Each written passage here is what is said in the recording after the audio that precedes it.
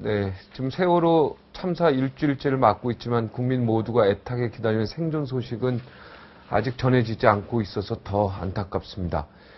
사망자 소식만 들고 있는데요. 네, 사회부에서 지금 총괄해서 지금 각 곳에서 오고 있는 정보들을 지금 다 묶어서 네, 좀 전해드리고 있습니다. 자, 윤정혜 기자. 네, 사회부에 나와 있습니다. 네, 구조대원이 뭐 잠수병에 걸린 안타까운 소식도 있다고 하는데요. 네, 지금까지 들어온 소식 정리해 주십시오. 네, 사회부에 나와 있습니다. 오늘 오전부터 지금까지 21구의 시신이 잇따라 인양이 됐습니다. 시신이 주로 발견된 장소는 편의시설이 집중된 3층 라운지와 학생들이 머물던 4층 객실입니다. 오늘 오후 3시쯤 해경은 가장 많은 승객들이 있었던 것으로 추정이 되는 식당 칸에 아직 구조대가 진입하지 못했다고 밝혔는데요. 지금까지도 식당 칸 진입 소식은 전해지지 않았습니다.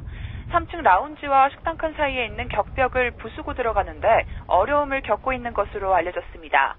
현재까지 확인된 사망자는 108명, 아직까지 어디 있는지 찾지 못한 실종자는 194명입니다. 합동구조단은 조류가 약해지고 바닷물 수위가 낮아지는 목요일까지 실종자를 찾기 위해 총력을 기울일 방침입니다.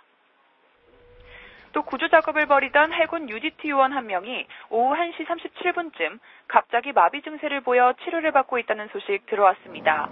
잠수병 때문인 것으로 알려졌는데요. 현재 청해진 함으로 이송돼 감압 치료를 받는 중입니다. 지금까지 사회부에서 전해드렸습니다.